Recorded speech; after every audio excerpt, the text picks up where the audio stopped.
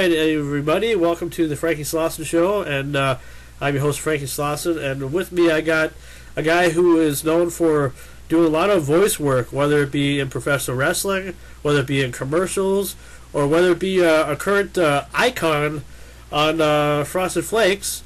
I have for you Mr. Lee Marshall. How's it going, Lee? Absolutely beautiful. It's uh, into the 70s at the beach today. Yeah, I mean, you you obviously have nice weather. I'm, I'm in northern Minnesota, and uh, we're like below zero temperatures. Not a good thing. I was like I always like Minnesota, but not in the winter. Yeah, uh, uh, back in the early days or whatever, uh, you uh, you got to do some stuff for like AWA, and, and uh, did you like Minnesota overall as a state? Well, you know, I traveled around, uh, you know, certainly with AWA and and uh, you know WWF and and WCW, and uh, yeah, I, I always enjoyed it. I always had great fun there. And I know, uh, see, I'm real close to where uh, the Fargo Dome was, and I remember uh, a few times when you guys had uh, Nitro, and I think even a Thunder taping or whatever at the Fargo Dome. I'm like maybe three hours away from there. Absolutely, love the Fargo Dome. It, it, it's a little bit, uh, it's a smaller version of uh, uh, the uh, facility in San Antonio. Really nice. Oh yeah, it's a nice big uh, big dome. Anyway, it's uh, we, we have we have we have uh, many different uh, arenas like that around my area where I live, and it's, so it's kind of cool to see any type of attraction, whether it be wrestling or a concert or anything like that. So uh, so let's talk about let's talk about you, Lee, and uh, let's talk about like your early days, uh, like before you became an announcer, or like before you uh, like when you first started doing radio. How was that experience for you? I started in radio, and uh, radio is still my true true passion. Always, always was, and always has been. Uh, I started in radio when I was, uh, got my first full time job when I was a high school sophomore, and uh, my first introduction to radio and TV actually came when I was a first grader uh, in Hollywood, and there was a show called Art Linkletter's House Party, and he had a feature called "Kids Say the Darndest Things," and I was and I was one of those kids. I was in first grade. But uh, yeah, when I was 14, I started my radio career. I always always aspired to. it. was always fascinated by it, and uh, you know, uh, been uh, been real fortunate in my radio career. And, Started out in okay, go in. Phoenix. Uh, uh, stayed in Phoenix for a while. And worked at the very legendary radio station there called Kriz, K-R-I-Z, and then uh, you know went to uh, Los, you know, came home to Los Angeles and I've been in uh, San Diego and Detroit and uh, New York City and uh, but primarily Los Angeles. And that's kind of the area where you kind of call home, pretty much, huh? Oh, absolutely. I was born and raised here. Yeah, you're you're lucky. I mean, over here in Minnesota, like I was saying, it's it's a different territory. Uh, you you get hardly no snow over there, but I suppose you have to worry about earthquakes once in a while. Oh, every so often. in fact, uh, it was just the uh, 19th anniversary of the Northridge earthquake here. Oh, okay. Yeah, Yeah. yeah. So, how when when you get an earthquake, like how do you uh, how do you prepare for it uh, when it happens? You I mean, you just, you know, you have stuff standing by. You have water and some emergency stuff, you know, in the garage or whatever. Uh, but, uh, you know, it's, it's, it's something that we deal with from time to time. And, and uh, you know, we get little minor earthquakes all the time. It's no big deal. And uh, when you uh, did radio, did you uh, did you have any heroes like Wolfman Jack or anything that kind of inspired you to uh, become a DJ?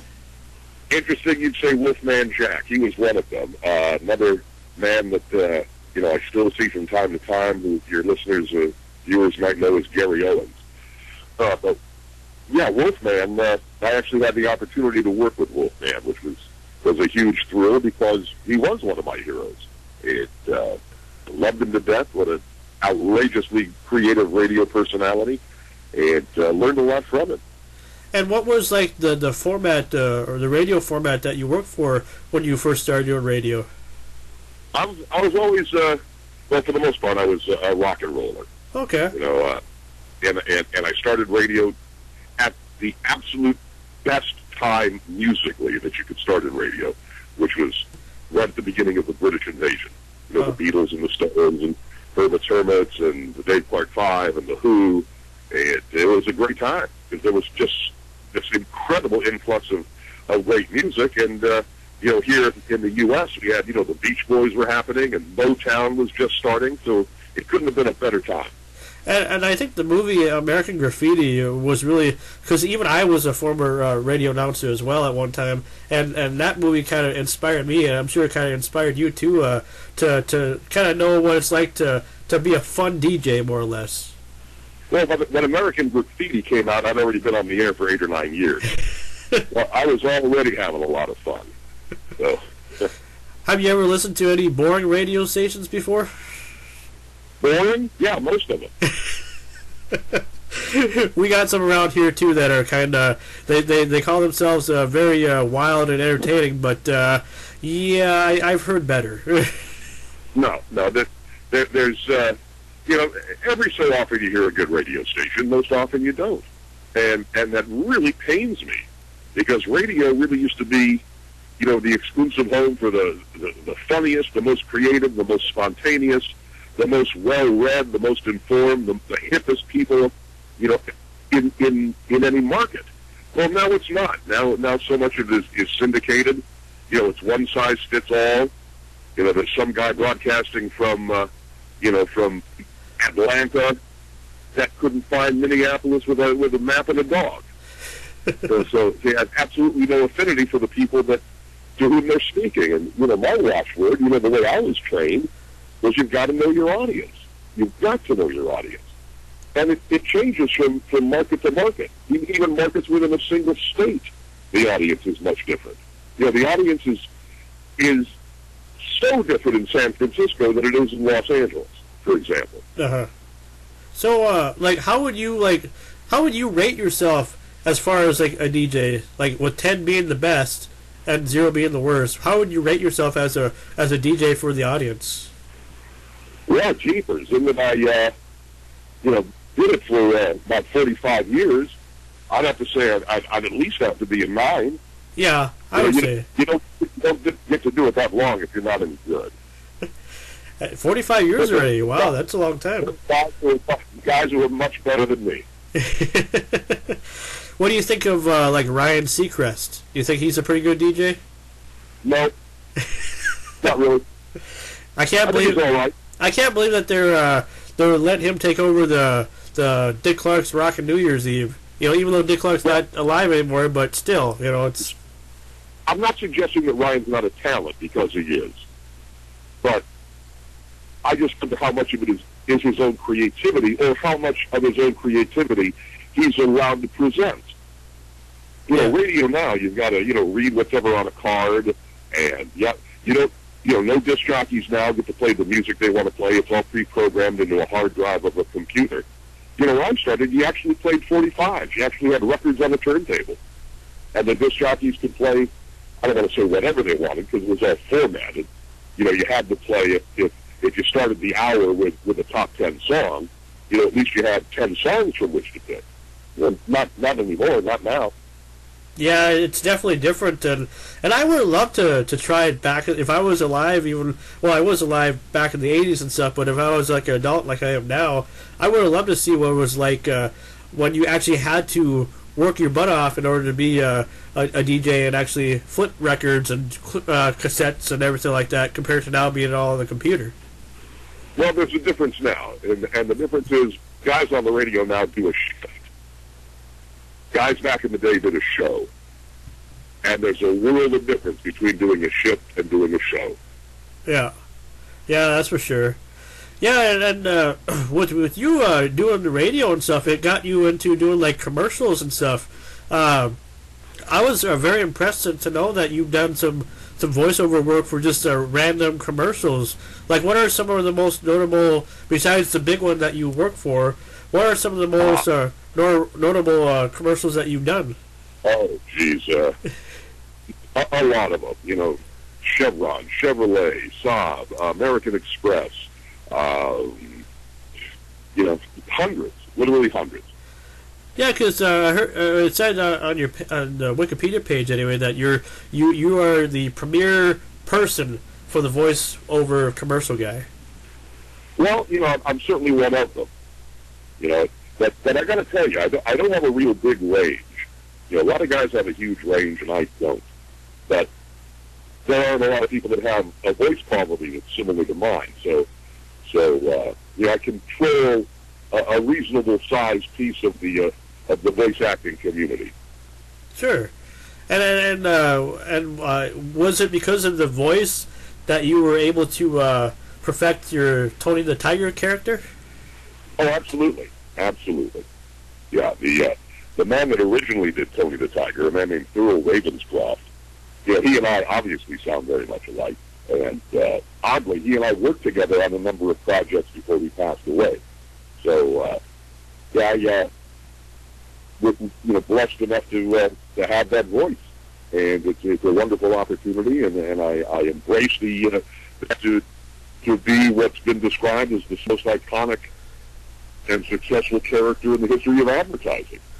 Yeah, that's for sure. Uh, I, I really, uh, I'm really uh, honored just to have you on the show and everything. To, because you, I mean, Tony the Tiger. I mean, that's that's a iconic figure, you know. oh yeah, oh yeah, he's he's pretty iconic. And I, I've done TV shows and movies and you know and video games and cartoon shows. You know, I, I do a lot of stuff other than Tony. yeah. What type of video games have you done? Oh, jeepers. You know, most of them violent.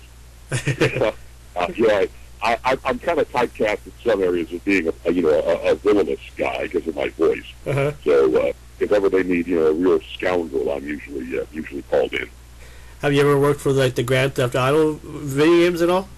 I've, I've never done a Grand Theft Auto, and uh, quite honestly, don't know that I'd want to be associated with anything quite like that. I don't know. I, I kind of enjoy them. They're they're kind of fun games. They might they might be a little violent, but I, I enjoy the radio portion of it. You know, just because you can play music and stuff. Oh, sure, sure, sure. But it, you know, radio allowed me to get into wrestling. Yeah. Uh, but when I started wrestling, it was all territories. You know, I'm wondering how many of your listeners even know what that is anymore. Probably not many. Well, well, well, very briefly, there was no one company that controlled everything. There was no WWE. There was nothing like that. Uh, there was the WWWF, owned by uh, Vince Senior, and his territory was New York and Boston and uh, uh, I think Toronto and Montreal and uh, you know throughout the East.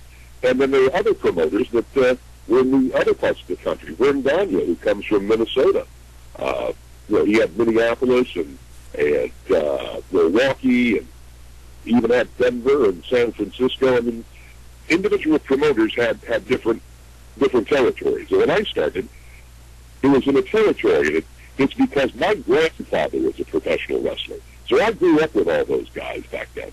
Oh wow. And the the promoter wanted somebody who was, you know, in the parlance of wrestling, was smart to the business, and was an actual broadcaster. But by that time, I'd already been on the air like four years, so I started doing wrestling when I was 18 years old. Jeez, that's uh wow.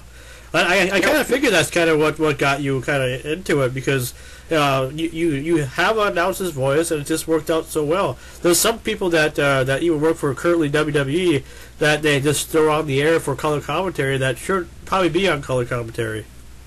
Yeah, really, really. Uh, you know, but it, it's so much different.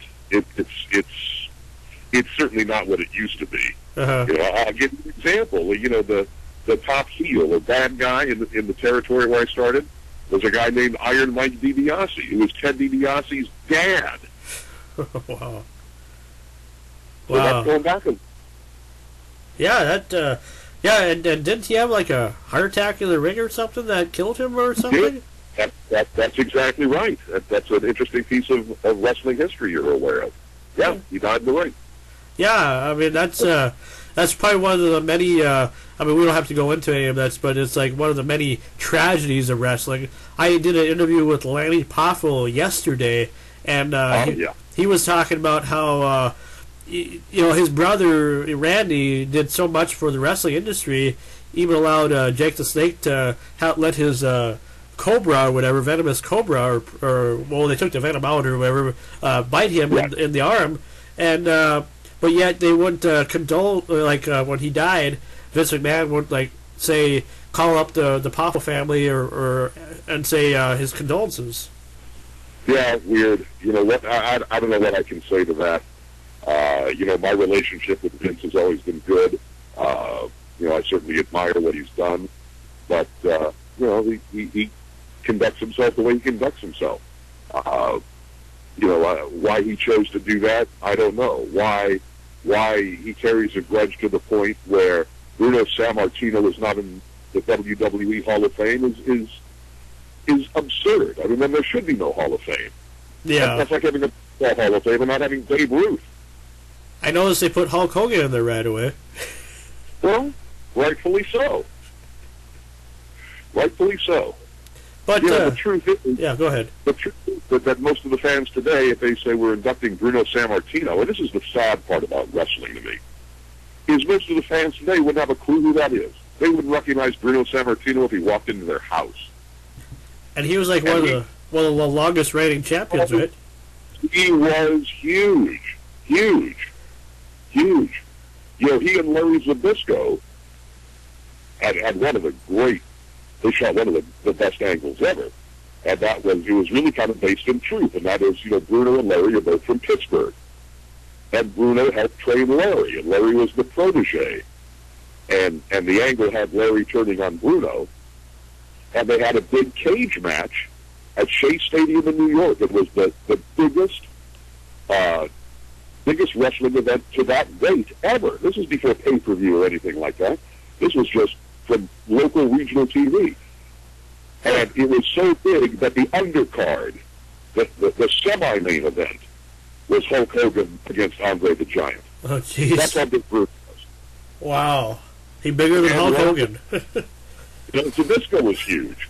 And uh, that's another guy who should be in the WWE Hall of Fame. You know, yeah, first ballot. yeah. I, I, I, I don't get it. I mean, I get it, you know, because someone's feelings are hurt or, or because it's not good for business, but it's, it's wrong. Again, it's, you know, how can you have, uh, how can you have a baseball Hall of Fame without having Ty Cobb? Uh, it's all politics, more or less, I'd say. Well, it is, of course.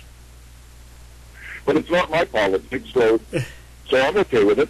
I, I just don't think it's right, but, uh, I think most, you know, old-time fans would probably agree with me, but I don't get a vote. So, there you go. Yeah. So one, one, one, one last question for, for the wrestling portion of the interview, anyway. Uh, I, I want to ask, do you miss your days in WCW? Because that's where I got to know you a little bit, watching Thunder, watching your road reports on Nitro, and do you miss all that? The only thing I miss about it, yeah, I certainly don't miss the travel. You know, I was on the road four to four and a half days a week. And I would never move out of Los Angeles. You know, a lot of the guys lived in Atlanta that were in WWE or, or in Florida. So they, you know, their, their flights weren't too bad. Uh, the, the two people that would never move would be myself and Roddy Piper, who lived in Oregon. Uh huh. So, you know, we were always traveling. So I certainly don't miss that. Um, you know, uh, my ego is such and gratified in so many other ways that I don't miss being on TV. Uh, I miss the camaraderie. It was some of the best fun you could ever imagine. You know, that, that's what I miss. Okay. I miss, I miss, I had the best fun was in the locker room. You know, the announcers, we had our own dressing rooms. And the best fun would be Dusty Rhodes and Bobby Heenan and myself and Tony Schiavone and Mike Tenay and, and Gene Okerlund just telling stories. And, and of course interacting with the guys as well. You know, that, that was always great fun just the best. And, and and I truly do miss that. But you know, I keep in contact with most guys. Yeah. You know, and, and, and you know, that's pretty cool. I mean, I can just kind of imagine that, kind of just picture like almost like a campfire type of thing. You know, just telling stories about the old old days and everything, and or even the current days at the time. So, what are? Well- you- okay, go ahead. I, I, think the campfire analogy is a great analogy because that's really the way it was. And you know, we worked together many, many, many hours. You know, you can imagine the production hours that go into producing a live TV show. And over, you know, I did eight syndicated TV shows as well. That uh, you know, you're working together all the time. But then when it was done, we were still together. We chose to be in each other's company. Wow. Well, that's pretty cool, there, there, Lee. I tell you, I, I never knew that, and I don't think most of the other, uh, because you know they would never show that obviously on TV, you know, because they can't, they can't, they can't show everything. But no, no. So, so any uh, any current projects besides the uh, Tony the Tiger that uh, that you're working on right now? Uh, you know, I, I am actually. I'm working on on, on uh, I do uh, uh, one thing I'll tell you about in a minute. But the one project that's uh, got a lot of my attention is I'm involved in putting together a radio reunion for the greatest radio station I ever worked at. That's not the it's not the best known radio station I've ever worked at, but it was certainly the most fun radio station I worked at, and that was KRIZ in Phoenix, which actually ceased to exist in 1978. Okay. But uh, you know, it, it's still it's still uh, you know when, when radio people can get together and they talk about truly legendary radio stations, there are about five or six sets of call letters that pop up, and that's one of them. So I'm working on that. I'm going to do that in February, and uh, what I started doing a couple of years ago, and I just really love it, is I'm an adjunct professor at uh, California Lutheran University in Los Angeles, actually in, in Thousand Oaks, which is an LA suburb. And uh, one semester, in fact, this upcoming semester that starts, you know, uh, later on this month, I do a voiceover class, and then the next semester I do a, a radio radio industry class. So I teach one day a week, but it's it's just great fun, and uh, I feel very very blessed to be able to, you know, whatever knowledge I've gathered over all these years, to be able to pass it along. And uh, the best part of it is is getting my seeing my students actually get employed. That's very cool. I got to tell you, especially in in any trying economic time, to actually see you know some of your students get employed and and and, and ascend in the industry. It's terrific. Is there a lot of demand in uh, Los Angeles for voiceover work? Oh, this well, this is it. Okay. This, this Los Angeles and New York, but primarily Los Angeles. Uh, and oddly enough, a, a lot of the uh, a lot of the, the voiceover that I will actually record in Los Angeles is not necessarily heard nationally. A lot of it is regionally. In fact, I remember a couple of years ago, I did the uh, the commercial uh, for the Minnesota Twins.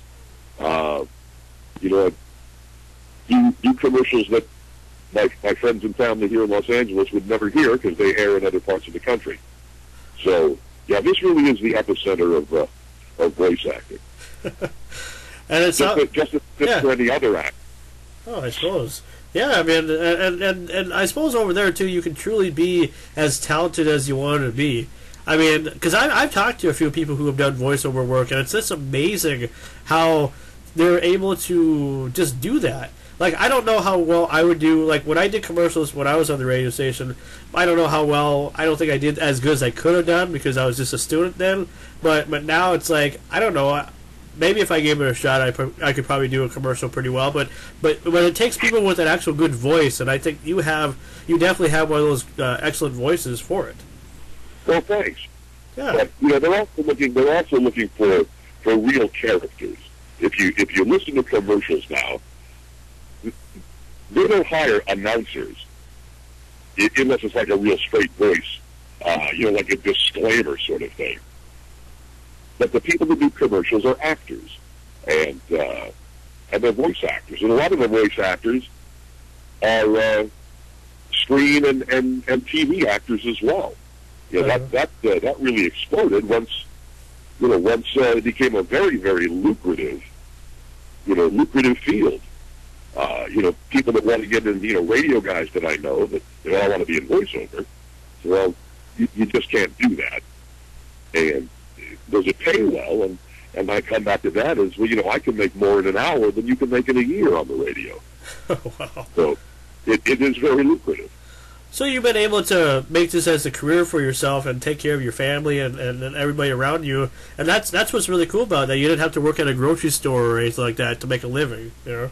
No, I, you know, I, I, I've never had that kind of a job. Um, well, maybe I, when I was a kid, I, I had you know a couple of interesting jobs, but no, I've never I've never done anything like that, and uh, it doesn't make me special necessarily. But I can tell you this, that I can say something that I think most men, men and women can't say. And that is in my entire career, you know, some days have been better than others. I don't want to let you, you know, think that it's all been wonderful. You know, some days are better than others, regardless of what you do. But I've never been bored a single day in my career. Not one day have I been bored. And, I mean, how lucky am I? You know, who else can say that? Yeah, that's for sure. I don't think the, I don't think the guy at the grocery store that you mentioned can say that. And I dig the guy at the grocery store. You know, God bless him. But I know there are probably some days he'd, he'd, he'd rather be doing just about anything else other than be at the grocery store. Well, the reason why I Well- the reason why I mentioned that there there Lee because I was the guy at the grocery store. I actually have worked at a grocery store before, and you know what? Yeah. I tell you, it's it's an all right job, but it, you're not making you're not getting rich off of it. That's for sure. Well, there, there, there, there's, and, and I tell this to my students and, and to any young people that are listening, you've got to understand that there is such a difference between having a job and having a career. And if you can have a career, you're you're, you're happy, you're content. You know, you, you you get to grow up to be the person. And uh, I'm real lucky. You know, there, there, there, I don't know how many other people, you know, how many more people can really say that. This is really what I always ever wanted to do. And and here I am, you know, all these years later, still doing it. So it's great. I haven't done a, a, a radio show in many years. Uh, you know, sometimes I miss doing that just because of what we were talking about. You know, the state of radio Sure. really annoys me. Uh, I think the future future of radio is actually the internet. Yeah.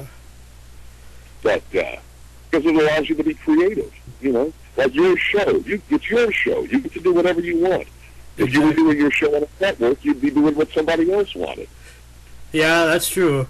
That's kind of why I do what I do. I mean, I, I just wish that I, I got paid for it. See, I, this is all just a volunteer thing that I'm just doing because I love doing it so much. And I don't know what you saw on my website or whatever, or, or what interviews you listened to or whatever, but you know, it just it's a passion for me. And this is what I this is what I truly love. It's just that I don't live in L.A. or some bigger area where, in fact, I live in a small town with a population maybe 500 people. You know, and it just Wow, I love. I just love doing this. This is all I've ever wanted to do. very cool. Then, then, how cool that you get to do it. Exactly. How And- cool do I get to talk to to- And- Lee Marshall? and, and, and that you live in a time where technology allows you to do it. Yeah. You know, 20 years ago, you couldn't have done it. No. And 20 years from now, my gosh, who knows what uh, that, that that will allow people to uh, to have their own shows and be creative and wonderful and spontaneous and humorous. I, I Yeah. think it's, I think it's terrific. And, and it's I all. That's all thanks to social social media too has a big play on that because I wouldn't have found you either if it wasn't for Facebook. Yeah, yeah. I'm, you know, I'm not, I, I- I'm not a Twitter guy. Uh, you know, if it were at a different point in my career, I probably would be, because I think it's a great promotional tool. But other than that, not interested. you know, not not interested in reality shows. Uh, Yeah. pretty much eyes them actually. Uh, you know, I this, this might upset some people, but know, I, I have no objection to people like the Kardashians Uh huh. or Honey or Honey Boo Boo or Paris Hilton or people like that. My objection is with the people that cause people like that to somehow be relevant. They're not relevant. Yeah. But I, I can't turn on TV anymore without hearing about Kim Kardashian's fetus. I mean, come on. really?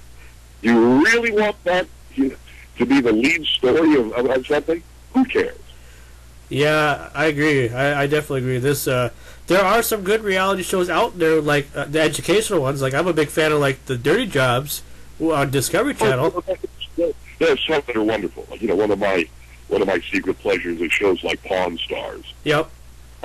You know, shows like that. But uh, you know, uh, believe me, Jersey Shore or any show like that. Come on, really? Do you think they'll ever? Do you think they'll ever do like a, a radio reality show at all? the Radio Star. I think we're doing one right now. uh, you know, the, the, you know, when cable opened up, you know, uh, there was such a need for programming. I understand it. I, I understand how shows like that came about. You know, you've got to come up with programming. And that's why if you look at all the shows that are available, oh my gosh, there are just some that are ridiculous. I'll tell you what show I like watching it because it really validates my, my, my opinion, is I watched Joel McHale on The Soup. Okay. And just to see the moronic things that people will spend their time watching is, is I find very funny. Actually, I find it very sad. but very funny at the same time.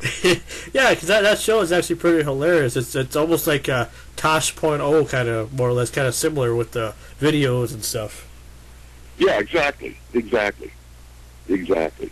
Well, I, I, tell you what, there, Lee. I, I really appreciate you uh, taking the time out of your busy day to let me talk to you. First of all, this has been. You have no idea how much this means to me, and I know I said that in the email, but this is really uh, very inspirational for me. to well, good. You. you should be inspired, and you should be inspiring others. You know, the reason I decided to do the show, like you said, I went to the web website, and you do a real show, and, and I like that. And, and there's always going to be room for that sort of that sort of uh, that sort of show. So uh, have me on again. Oh, I definitely will. Uh, maybe next time we could do a, a video show, like a Skype thing, or like uh, if you have a, a webcam or something. sure, sure. All right. Well, sure. well, thank you very much, man, and I, I do appreciate that. And uh, uh, any any words to your fans at all? Because I'm sure you still got some fans out there. Well, I've always appreciated the fans. You know, uh, uh, to this day, you know, uh, you know, there are people that stop me and you know don't know me as as a voice actor, or don't know me from radio, but know me from TV, and and uh, you know, I'm I'm I'm grateful. I'm sincerely thankful. You know, especially you know, some people will watch those old AWA shows on ESPN Classic or wherever they're showing. You know, shows that Eric Bischoff and I did 30 years ago, or however long ago it was. uh, it's kind of neat to be hanging around. You know, I feel a little bit like Lucy. yeah, that's that's cool. Yeah. No, that's really cool. Well, I tell you what, thanks again, and uh, I hope you have a good rest of the day, and uh, I'll let you know when I put this interview up. I'll send sure, you a link. Give my, regards, give my regards to my friends in Minnesota. Oh, I will. All right, man. All right. You have a good All one. Right, and that was the great, legendary Lee Marshall. And boy, that well, I didn't think we'd be talking this long. It's already over 32 minutes long, but hey, that's okay. I hope you got it. Uh, and wow, I can't believe that he actually he actually he actually likes my show. Wow, that's uh that's pretty cool. I, you know, I'm not going to go into the big story of of, of things, but uh, it's very cool to to know that uh, uh, that he appreciates what I do, just like I, I've always appreciated what he does. Uh, just a variety of different things that he's done in his career, whether it be wrestling announcing, uh, radio announcing, or vice versa, or TV announcing, or just anything. To video games, I mean, uh, when you have a voice, you can definitely, if you if you are gifted with the the gift of voice, uh, and you use your voice well, it goes to show what you can make out of yourself. That's for sure. And, and he's a he's a legend of the business, not just professional wrestling, but just anywhere when it comes to commercials. Maybe you guys have heard some of the commercials that he's done. Uh, in the audio industry or you know on TV or on the radio or whatever. But it's a rare treat, and I and the fact too that he does the voice for Tony the Tiger. He's currently right now as we speak the voice of Tony the Tiger. Uh, he does you know anytime you see a commercial, he that's him. Well, that's not him, but that's his voice is Tony the Tiger. So that's pretty cool. oh, I'm a little humble, I tell you. Wow. Well, I tell you what, thanks for tuning in for, to another episode of the Franky Slawson Show, where you just don't know who you're going to run into. Hope you guys have a good Valentine's Day, and uh, that's my Valentine's Day treat to you guys, so hope you enjoyed it. Lee Marshall on the Franky Slawson Show, right here on YouTube.com.